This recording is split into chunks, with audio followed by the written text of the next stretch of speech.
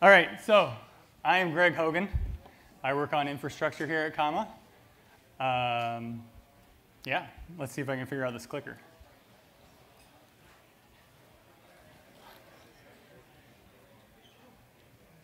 There we go.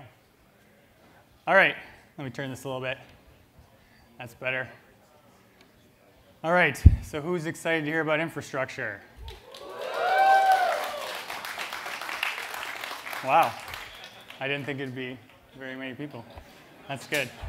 I guess it's a lot of pressure though now if uh, I feel like people expect a lot or something. All right, anyway, we'll see what happens. Um, so the goal of Comma is to solve self-driving car, solve self-driving cars. Uh, we're going to do it with machine learning, and uh, we're going to need really good infrastructure to be able to accomplish this. We got to be able to iterate fast. We got to be able to train models, you know, with reasonable speed, and so forth. So at Comma, we call everything supporting our customer-facing applications and model training infrastructure. So that's hardware and software. We call it all infrastructure. So what do we need? Uh, well, one thing we're going to need is data. And so luckily, we have thousands of users every day collecting data for us. And somehow we need to get this data to train models. So uh, we have devices out in the field that have this data. And they upload it to a storage account in Azure.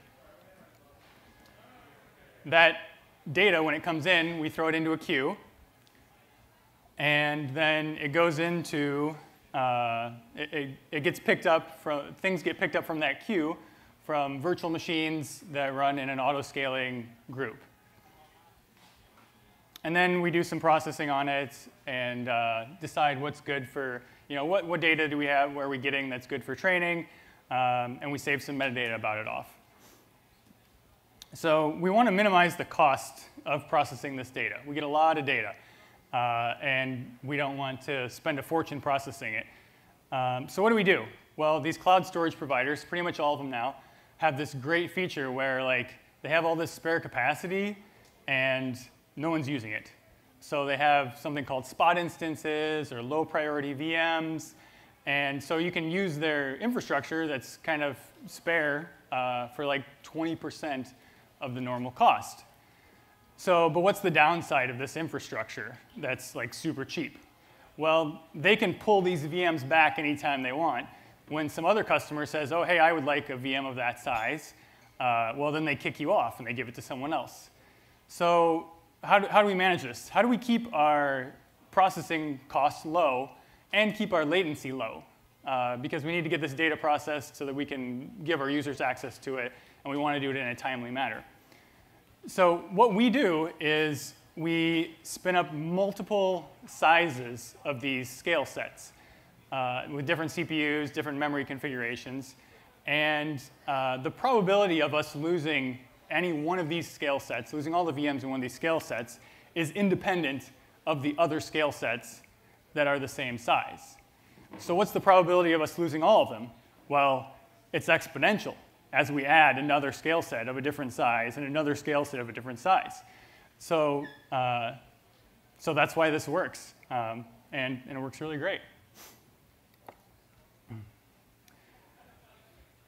So now that we have all this data, uh, we need to be able to use it for different things, like some different applications that we have. Um, the data isn't public, but like the API we use for our applications, we made it public so that people can get their own data. Um, so you can go to api.comma.ai, for example, uh, and you can see the documentation so that you can, you know, if you wanted to, build your own application on top of your data. We also have some nice tools that uh, have been in some of the other presentations. Cabana, for example, it uses that same public API. Uh, Connect, or it was previously Explorer, uh, it also uses that same public API, and this gives you, you know, nice dash cam type functionality for reviewing your data. And another nice thing that we offer people um, is what we call an SSH proxy. So we sell a dev kit, and uh, it would be nice if you could you know, SSH into your device from anywhere if you're doing like development type stuff. Uh, but normally, like if your cell phone is on a cell network, mobile data, they block port 22. Uh, because there's actually been problems where like people accidentally leave port 22 open and then people can get into devices because you know they did shady like the same username and password for every device or something like that. So how do we get around this? So what we do is the devices, whenever they have an internet connection, they open a WebSocket connection to a server that we have uh, in Azure. And then when you want to connect to your device, what you can do is you can SSH into the hostname ssh.comma.ai from your computer, and your username is your device ID, and you have to present a public key that you had previously already set up on your device. So then what our proxy server here does is it, bring, it looks at your connection and it says, oh, you're trying to connect to this device. Let me go ask that device what public keys are allowed to connect to it. It pulls those public keys. It then sees if you can successfully authenticate against the proxy server with that public key. And then if you can, then it lets you tunnel an SSH connection through the proxy server, through the WebSocket, into your device. And then the device just, I mean, it's literally port 22. Like then your, your device then is going to authenticate again with that same public key. Um, this is like what they call like an SSH jump server. Uh, we just tunnel it through a WebSocket so that everything's making incoming connections, and it doesn't matter if you're on a mobile network with your device where port 22 is blocked. Um, so in case anyone's wondering, Comma doesn't have SSH access to anyone's device. Uh, SSH is off by default on your device. You have to turn it on, and then you have to set up you know, what public keys you want uh, to have access to your device. Um, and all the authentication you know, happens on the device. We can't, it's, you know, the way public key authentication works is, you know, even though the traffic is passing through our proxy server, it's still encrypted with your keys, and so we have no way to be able to look at any of that data. So all of that uh, infrastructure we just talked about, uh, it's hosted in the cloud. And it's hosted there because, you know, the cloud has these great features, and we're willing to pay a premium for high reliability, scalability, and availability. All right, so we got a little sidetracked there. We're talking about you know training models, uh, but we needed some good stuff to. Uh, we needed a good pipeline of data coming in, and and you know that's kind of all the stuff that supports that. So let's get back to let's get back to training models. So what kind of hardware do we want to train models? Do we want to run it in the cloud?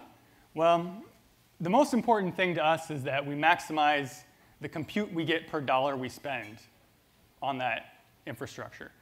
And we can tolerate some failures. The cloud is great, you know, because it's so scalable and reliable, but for research, you know, we don't really need all of that. There's a lot of data that we can like regenerate if we if we needed to and so forth. Um, so what meets these requirements? So it turns out that refurbished equipment running in a garage actually is it's really cheap and it, and it works really well. So if you consider the cost of just the cloud data storage for all the data that we hold for, for doing model training, um, the cost of that cloud storage that we would need to have equivalency, uh, we would recoup all of our costs in 10 months buying all the hardware that we've bought. So like our, our return is so, is so good. Like this here is a DGX SuperPod. This thing's brand new probably. Looks super clean and nice. So let's, let's see if our servers look like that.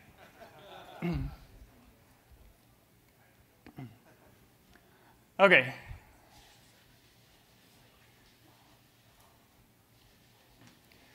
So we started in an office in San Francisco, and at some point, someone bought a rack and put some servers in it.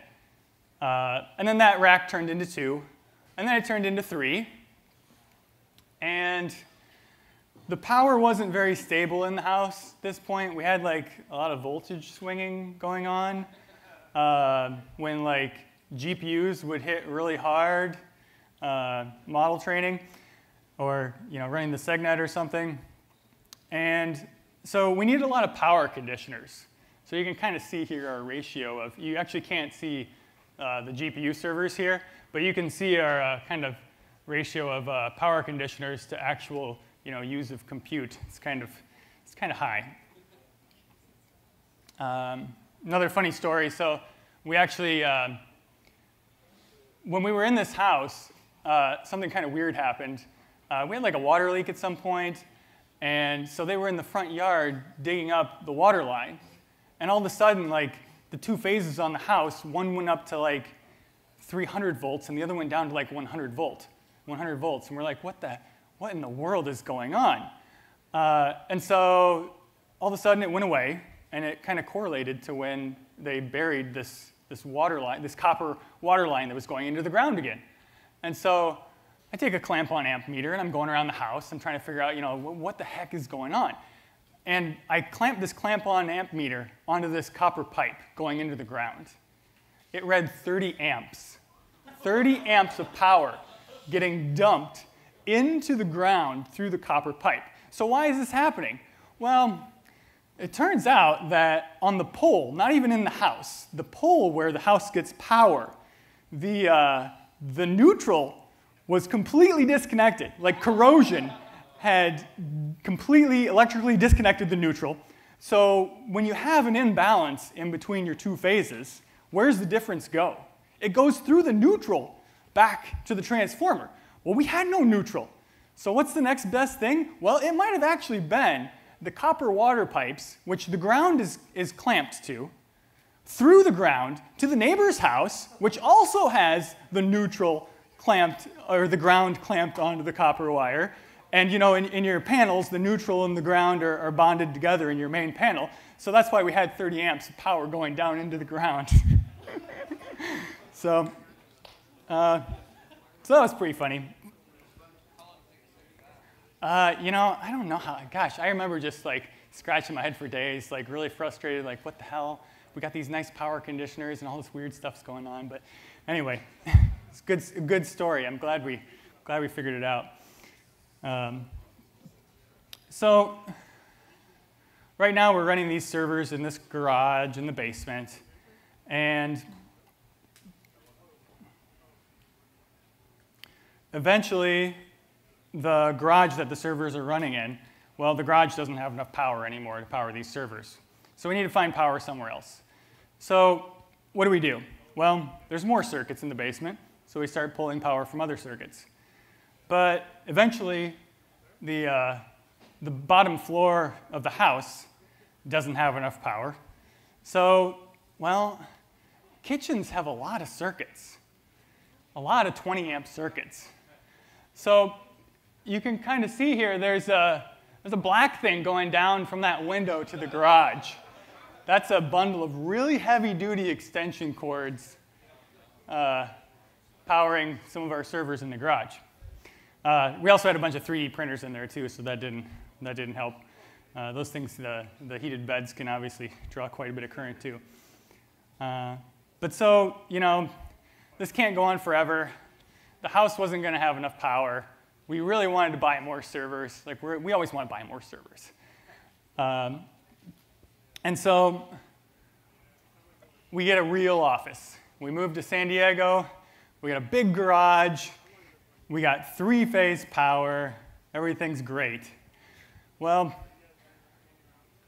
when you're using 60 kilowatts of power, you're generating a crap ton of heat. And you got to get rid of that heat somehow. So there's a few ways you can do this. You know, the obvious one is if you run a data center, you, you have like climate control, right? You got HVAC. Well, air conditioning is really expensive if you want to, you know, get rid of 60 kilowatts of heat. So, you know, what do we do? Well, we're in San Diego. The temperature doesn't swing that much, right? It doesn't get super hot here. So we put in two 10,000 CFM, two 10,000 CFM fans. We got an intake fan and an exhaust fan. Put in a partition for separating the hot and cold aisle of the servers. Uh, and you know, that, that worked pretty well. But then we had another problem. Uh, so it turns out that uh, we started seeing signs of corrosion, like this fried capacitor. This is a backplane on the server. So there's a lot of dirt here, uh, and we got this capacitor that's fried. So what's going on here? It turns out there's this thing called equilibrium moisture content, or EMC. And it's really important. So um, it's basically, so equilibrium moisture content is the amount of moisture that a material will hold, and it's neither releasing moisture into the air or sucking moisture out of the air. So like, there's no such thing as dry or wet. There's, there's a continuous scale. And depending on what the relative humidity and the temperature together are, determines what this equilibrium moisture content is. Uh, so you got to manage this, or else, uh, you know, all that dirt from this dirty garage, you, you know, it's, it, it, holds moisture, and that's, that, that was kind of a problem. So you, to manage this, basically, uh, you can look around and like find numbers. Um, you want to keep it below this 10.5% number. Generally, if you go above that, it's considered corrosion, or it's considered a corrosive environment. If you keep it below, you're in good shape. Um, so, so, how do we stop this corrosion? Um, so it's, it's this scale, right, where like as the relative humidity goes up, the temperature goes down, the, uh, the EMC goes up. So how do we keep the relative humidity down and the temperature up is the question. Or how do we, how do we keep this number low? And so, you know, the, the obvious solution here is, again, air conditioning. But that's kind of expensive. Do we really want to do that? no, we don't. There's a cheaper solution. So instead of sucking moisture out of the air, or I'm sorry, instead of lowering the relative humidity by taking moisture out of the air with something like air conditioning, we can just raise the temperature. So when we buy these used servers, they've got like metrics, you know, from whoever owned them last. So this here is a picture of, you can see the, the black and gray on the far left here is what temperature the server was running at before we got it. And then there's like a dead zone where it wasn't on because no one owned it. And then, you know, the temperature after we start running it. So, you know, they ran it around 21 to 23 C. It sounds like a nice life for a server. Uh, but then, you know, we get it, and it runs like 35C to 42. So, uh, you know, we, our, our, our goal is to keep it under 43C. 43C is 109.4 degrees Fahrenheit. So, you know, we kind of we kind of abuse them. But everything in the server can handle this. Like the, the lowest temperature, I think, of anything, eh, the, like the lowest operating temperature of anything in the server is probably the spinning drives and the ones that have spinning drives. And that's like 55C. So, you know, 43 is not that bad. So we also decided, you know, this is, this, this is a lot of dirt. Maybe we should try to keep some of the dirt off the servers. So now we put this filter material just right on the front of the servers because, you know, to get a 10,000 CFM fan with a filter on it is like 10 grand or something crazy. So that seems stupid. We've got all these servers that got all these fans in them. The only place they take in air is right on the front of them. So we just throw the media filter right on the front of it. Uh, we also decided, you know, we want these backplanes to last a while. They're still going to get dirty. And this, this isn't going to filter out all the dirt. This garage is, you know, pretty dirty. So we put like 10 layers of conformal coating on our backplanes. And we use like a potting compound to uh, seal up these exposed leads on these drive connectors. This is, this is a picture of a backplane that's been all sealed up so that you know, we don't have this uh, corrosion problem. And th this is really only a problem in the front of the server because the temperature needs to be kind of low for the EMC number to be high. So in the back of the server, it's always really hot. But in the front of the server, that's where you're going to have problems. And so, you know, that's kind of what we saw. The back planes, you know, catch a lot of dirt, and it's the coolest part of the server generally. All right, so what do we have in these racks? We've got 1,888 CPU cores, 72 GPUs, 2 petabytes of spinning drives, and 516 terabytes of solid state drives. We've got basically two classes of servers. We have servers that we use as compute nodes, and we have servers that we use as trainers. So here's what our compute nodes look like. This is a rack of them. Uh, every one of these servers has 10 spinning drives. They're 1U servers. Uh, they were new back in like 2015 or 2016. Um, but they work great. We have three racks of these. Here's what our trainers look like. They're also old servers. Uh, basically, you know, lots of RAM, lots of GPUs, and lots of network bandwidth. We also buy used networking uh, equipment. So it's, it's, it boggles my mind how cheap you can buy this stuff. Uh, this is a 100 port that you're looking at here, this picture, 100 port 64, or I'm sorry, 100 gigabit 64 port switch. This switch costs us $2,800. That's 6.4 terabit of switching capacity. And I remember at one point I bought a new Netgear 48 port switch for Comma. And that Netgear switch was only 10 gigabit, 48 ports. It was almost $4,000. and I can get a 64 port, 100 gigabit switch for $2.8 thousand, yeah, $2,800. So we have multiple of these. Uh, and then we also have an InfiniBand switch for the, for the trainers to get even higher network bandwidth between them. So how do we use this hardware to train models? Uh, well, we've got all this data, and now we need really high bandwidth, high performance file system for the different servers doing the different tasks to pull the data and work with it. So originally we used NFS for a long time, and yeah, that doesn't scale. Uh, it's pretty bad. So we looked around at distributed file systems that existed, and everything was way more complicated than what we needed. Um, it's crazy how like complicated like Ceph is and all these things. So we built this, this, uh, we built this distributed file system called Minikeyvalue. Uh, it's open source. It's on GitHub. It's less than a 1,000 lines of code. Uh, it has an HTTP interface, you know, kind of like S3. Uh, and uh, the, one of the reasons it's, it's such a small amount of code is because it, we use Nginx for the volume servers to serve up the files. So um, so, how, so let's take a look at this. This is kind of a, a picture of kind of like our uh, infrastructure in our garage. And uh, let's see how, for example, you write data into Minikeyvalue.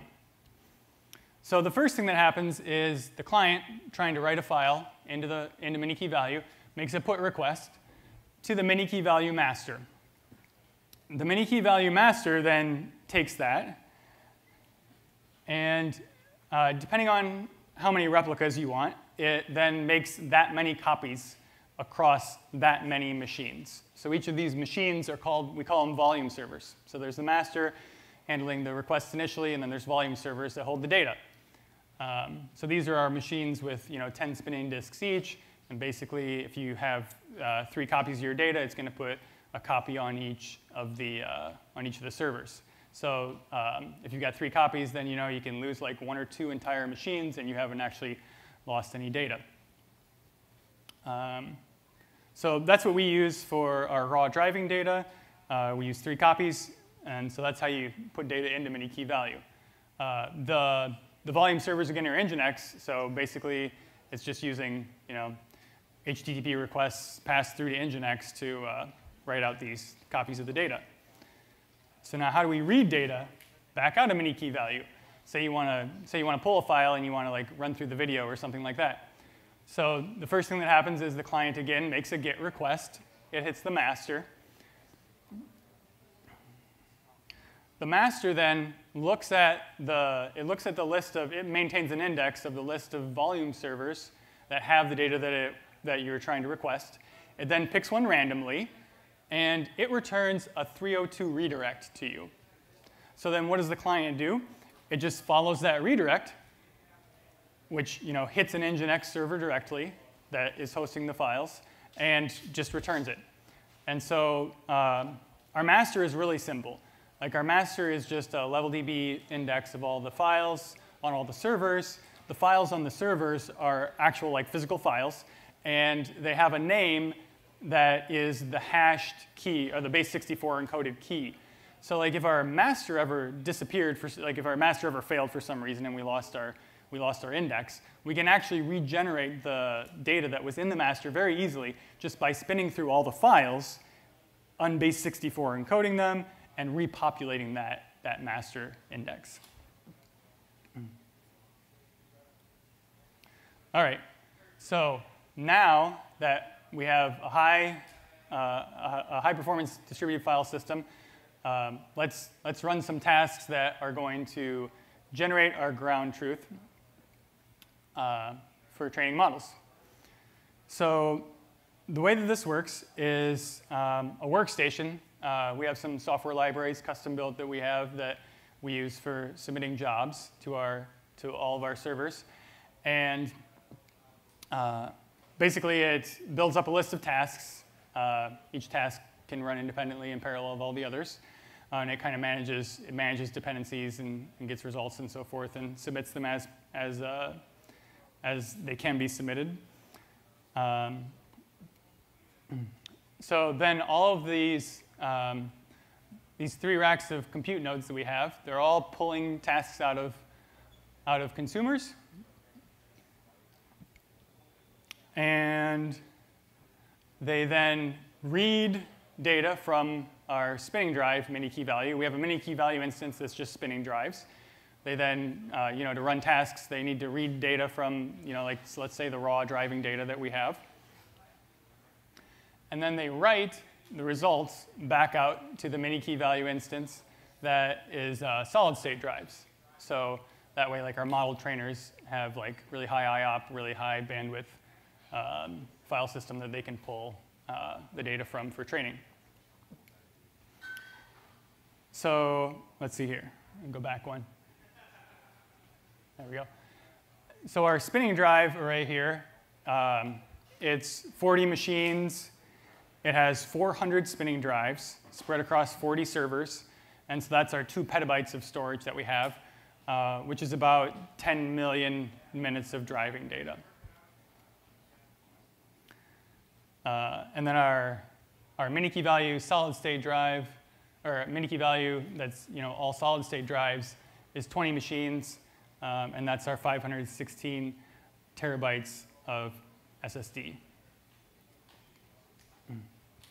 All right, so now we've got our ground truth generated. Um, let's train a model. So how does that work? So we have 10 servers here that are model trainers. Um, we can run a lot, we have 10 of them, so we can run a lot of experiments in parallel. Each of these model trainers has a 100 gigabit Ethernet uh, network connection to one of those 100 gigabit switches. And then uh, one of our racks has another 400 gigabit per server hooked into an, an InfiniBand switch so we can do things like RDMA uh, and do like parallel uh, training and so forth.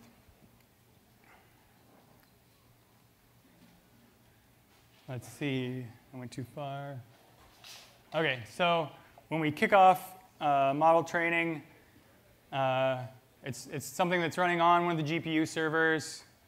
This is our mini key value SSD instance. The, you know, it pulls data from pulls data from there. Each of those machines has 20 gigabit of network connectivity, so it's a really high bandwidth. Um, And then uh, each epoch, it uh, generates some metadata, and it writes it out to uh, what we call our, our reporter server, um, which I'll talk about in a minute. So you repeat this, you repeat this about a thousand times, uh, and then we've trained a model.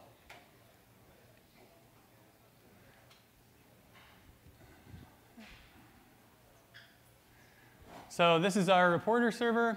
This is what it looks like. Um, one of the screens in our reporter server. Uh, it's kind of like it's kind of like TensorBoard. Um, it has a lot of charts and images. Uh, it's pretty simple, something we custom built just to hold all of our experiments. Um, we looked around kind of at like the other options that were open source and available and free, and um, they didn't really have all the features we wanted. Um, so that's why we ended up building something custom. Um, and it really wasn't like, this wasn't a big project at all. Um, another, another screenshot from our model reporter. This is, um, this is uh, example of like where you can pull up worst losses for an epoch. And so that's pretty much all the infrastructure that we have that we use for uh, training our models. Um, so our user base grows like 50% every six months, at least on average. Um, we, we need to scale up a lot of our infrastructure as we, you know, it doesn't take us too long to grow another 10x at that rate. Um, so we've got a lot of work to do. You know, there's always ongoing work to really scale things up. Um, we want to build a 10x larger data center. So we've got all kinds of exciting things we would love to do to, uh, you know, uh, train on maybe 10 million segments uh, of driving data and running the ground truth for that takes a long time, would take a long time on our, on our current setup. Um, so um, let's see. So yeah, if you, uh, I don't know, you think this stuff is exciting to you, you think, uh, uh, you think that's cool stuff, uh, we're hiring. And so uh, it looks like I'm pretty much out of time here, but uh, yeah, I'll be around and find me if you have any questions.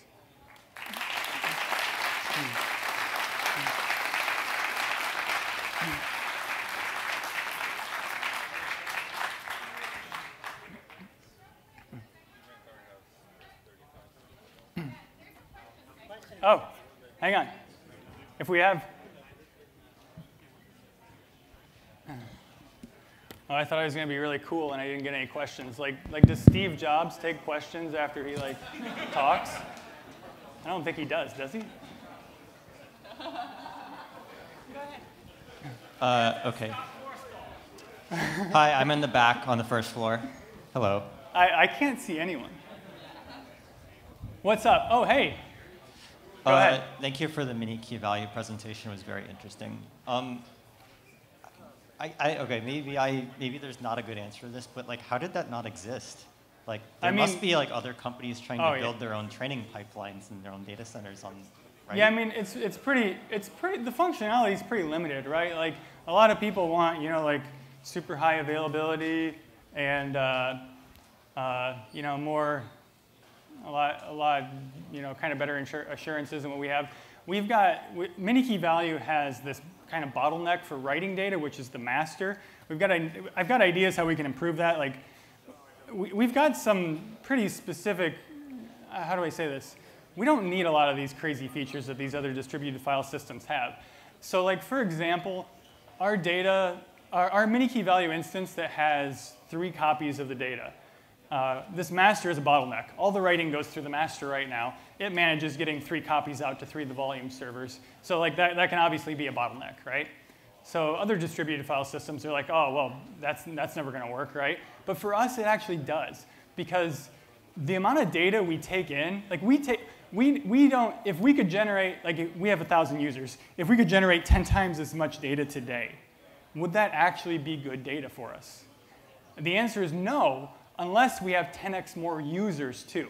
Like we need diversity in our data. So our data comes in slowly. And we don't need a ton of bandwidth to this uh, Minikeyvalue instance that has a bunch of redundancy. But on the other hand, we do need really high write performance for our Minikeyvalue solid state instance, right? Because that's where our, our reporters read data and, and write, uh, well, we need to be able to like massively write out our ground, our ground truth from all of our, from all of our consumers. And so uh, there's a solution to this because there's a good solution to this because we don't need multiple copies of that data. We only need one copy. Because if we ever lose a drive, that's like a small portion of our data, number one. Like, we don't really care. But number two, if we did care, we can just rerun the ground truth and regenerate it. If we have a disk fail, like, like who cares? We'll replace it and we'll rerun ground, you know, the ground truth for that. So what we can do is we can actually use redirects to write data. Uh, if all the master is doing is doing redirects, like it's, it's, you know, we don't have any performance problems.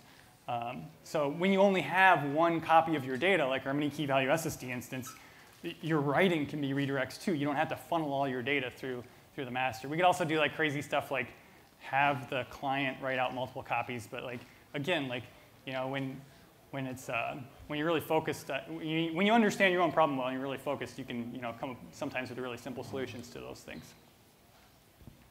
Thank you. That gives me a lot of insight. Yeah, no problem. You mentioned that humidity is a problem in San Diego. It's about 60% on average. In, in, would it be beneficial to move the compute cluster to somewhere like 29 Palms where the humidity is half? Uh, I don't know. Like, why do I care if I run my servers at 43 C? Is there, do, do servers have, I don't know, is anyone like advocate, advocating for server rights? Like, do they, do they get, like, is there, is there, what is it, like, uh, child, uh, whatever, you know, like children can't work in like hot conditions. We're gonna have that for servers someday too. Yeah, I don't know. Yeah, I mean, it would we wouldn't have had this problem. That'd be nice, but uh, it's kind of like you know, it doesn't really matter. um, what's been your largest challenge in terms of growth and scalability of this hybrid cloud environment? And then also, uh, second question is, why did you decide Azure when there's more mature cloud environments out there like AWS? Oh, okay. Uh, yeah. Okay, I got answers for those things. So the biggest challenge, I think, in scaling any of this stuff is like finding simple ways to do it that doesn't require us to hire like a team of people to manage it, right? Like, like why do we care that Minikeyvalue is under a thousand lines of code? We care because like George wrote it. I can sit down and look at it and like fix bugs in, you know, sometimes a matter of minutes. And, and, and you know, I can, I, can, I can read the whole code base in like an hour, right, and understand everything that's going on. And so, um, you know, finding good solutions to these problems is, is uh, uh, you know, less code is always better. And uh, I think a good example is we used to spend a lot of money processing, transcoding video, processing video files as they were uploaded to us. And you know, we were doing this, and I'm always trying to figure out how do we lower our, our cloud spending. And I'm like, well, this is obvious. Like, it should happen on the device. Why are we transcoding in the cloud? So, you know, that's what we did. We didn't like build some crazy stuff to like do caching and be smart about oh, someone requested the first video of this file, let's start transcoding it, and then the second and the third and the fourth one minute segment, you know? You could go really complicated and build something that probably works really well, but, you know, finding a simple, eh, you know, that's, that's like writing a lot more software and, and, you know, scaling that thing sounds like a nightmare and, you know, it's still probably kind of crappy. So, you know, it's that, you know, that's the real, that's the real challenge, I think, you know, finding a way to do it really cost effective. Second question you asked. So why are we in Azure? So we, we, uh, we, we weren't always in Azure. I don't think I've ever really told anyone this story. So before I started at Comma, everything was in AWS. And why were we in AWS? Well, the reason we were in AWS was because uh, if you run a startup, these cloud providers, they'll give you, they'll give you so much money. Yeah, and why do they give you all that money? Well, they give you all that money because you know, uh, if, you, if you build this really expensive system with all that, those free credits that they give you, well, you got to keep paying for it when the credits run out. Uh, you know, even if they give you hundreds of thousands of dollars, it comes with an expiration also. So if you don't spend it really fast, it's like they incentivize you to spend the money really fast because it expires. And then once it expires, well, how much is your cloud bill every month now? And you got to start paying that. So we got, I don't even know how much money we got from AWS. That money ran out. So we shopped around. we said, who else will give us free money? so number two was Azure. And I want to say they gave us $360,000 of credits. That was also a little bit before I started. And after I started, uh, after I started, um, I needed to transfer this subscription to my email address. I'm like, this will just be so much easier, so I'm going to do it. Well, it turns out Azure's ridiculous. You have to, like, they can't transfer a subscription. They have to cancel your sponsorship with all these credits, and then they have to set up a new sponsorship with the new email address.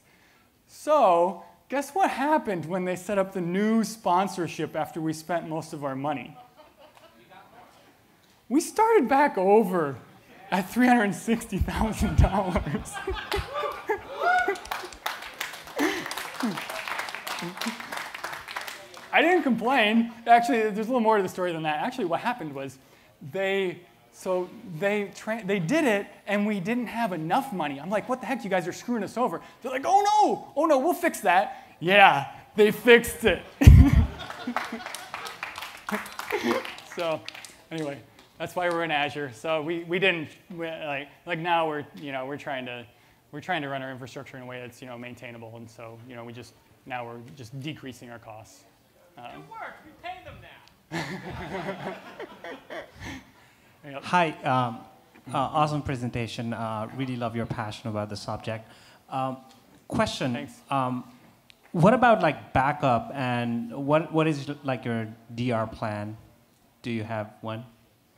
Uh, for what, right? Like for, for the data that we use for training, uh, there is no, the, the disaster recovery is bottlenecked by how fast we, we're like worst case, it's bottlenecked by how fast can we collect new data from our users, right? So uh, we back up some data, like, like our reporter server, we send it, you know, to like cold storage or whatever, inexpensive storage in Azure. You know, we run on-prem the reporter, just like the, the trainers and everything. Uh, in the cloud, you know, it's just kind of the same thing. We, uh, one of the first things I worked on was you know, really making everything infrastructure as code, deploying things in an automated way. Uh, so, you know, a lot of our disaster recovery from like an infrastructure perspective, not from a data perspective, is uh, you just redeploy, you just redeploy things. And, you know, I'm, I'm huge on putting everything in scale sets, you know, so it, like your recovery is built in, right? Like every time you scale up, you're practicing your recovery, which is great. Thank you. Yeah. So you mentioned um, uh, the like spot instances and stuff and kind of balancing between instances of different sizes. Can you talk a bit about how like generally particular workloads fit within particular instance sizes? I don't really know what your uh, compute needs are, but how, how do yeah. you balance that out if you have like uh, uh, certain memory compute sort of ratios that you're trying to maintain? Yeah, so uh, one of my goals at one point when I was, uh, one of my first goals at Comma was to get our processing time, like the latency from when we receive a file from a user to when it's available in like Explorer, Connect, Cabana, to be under 10 minutes on average for like 99.9% of our data or something like that over the, over the, like over the course of a month. Um, so I worked really hard on that, and I'm happy to say that our data now uh, is processed like on average under 10 seconds after we receive it. Um, and um, so we used to do like heavier stuff, like um, like processing video files and so forth. So you know, a lot of the solution to this was was eliminating that stuff, pushing it, you know, pushing some of it back to the device, uh, using the qlogs for every, like really pushing people hard to use our qlogs for, you know, our processing needs, um, for customer-facing stuff. Uh, you know, like figuring out what data we can train on, I always you know, tell people it has to be based on the qlogs because you know, we don't want to pull the, the, the, raw log files to, to figure that stuff out. Um, so we need, the long, or the short of this long story is basically we need very small VMs. We, we, we spin up the smallest possible VMs, which helps, right? Because uh, when, when, when we're outbid uh, and we lose instances, Uh, we lose these spot instances, the more cores we're using, the more likely it is that someone is going to steal our VM. Like say, you know, say we use four core machines versus two core machines. Well, if someone needs a two core machine, there's only four cores, well, then we're going to lose the four core machine. But if we're doing two two core machines and someone needs two cores, you know, we only lose one of them. So we use, we use like the smallest. I, I pick the, I pick the least expensive, um, you know, the least expensive SKUs uh, and um, always do like the, uh, Azure has this great thing where you can run the operating system out of the super fast cache. So then the VMs come up like super, they, they you know, they, we scale up and down really fast. Um, so yeah, we just use, we use the tiny instances and um, yeah, that's all we need because we, we, we really squeeze down the processing as much as possible. Uh, obviously, there's very little processing happening if every file we process is done in 10 seconds. Got any more questions?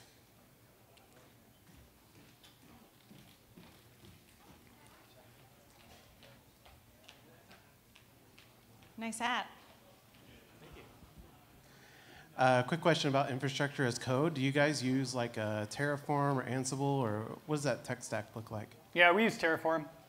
Uh, like in my previous job, things were also in Azure, and we used to use the like the ARM templates. I think those are great too, but I mean, if it's if it's not broke, you don't you don't change it, right? We we just always use Terraform, and it works great.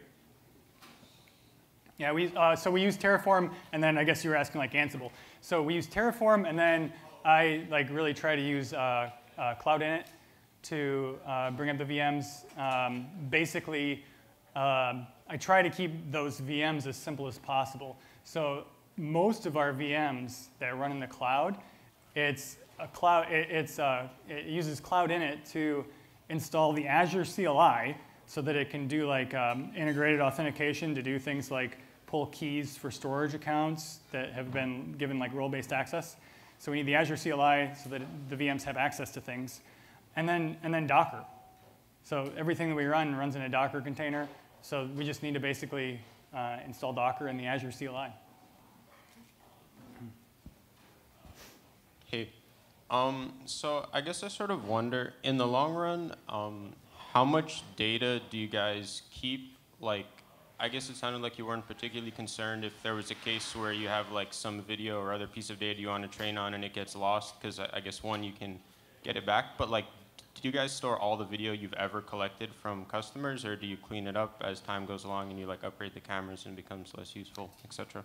Uh, we, we don't store all the data that's ever been uploaded to us. We retain the, um, we retain, retain the raw data that we get for only 14 days. Um, because like the data, I mean, again, like keeping our cloud bill low, like I mentioned at the beginning, the storage is so expensive. like that's how they get you. And you really can't separate things from the storage very well. Like who has crazy high bandwidth for free to you know cloud providers, and then they charge you if you want to pull data out of the cloud, outrageous rates like eight cents per gigabyte. So uh, you know if they if they get you hooked into that storage, they, they really got you hooked. Uh, and so, uh, yeah, so we, we just keep the data for 14 days uh, because otherwise we'd be, you know, even now, even keeping the data for only 14 days, our storage is by far our biggest cloud expense. Um, and then the lower quality stuff we keep for at least a year. So like if you have Prime, you can, you can watch your uh, low quality video uh, in like Connect. you should be able to back a whole year. Great. Thank you so much, Greg. Yeah, no problem.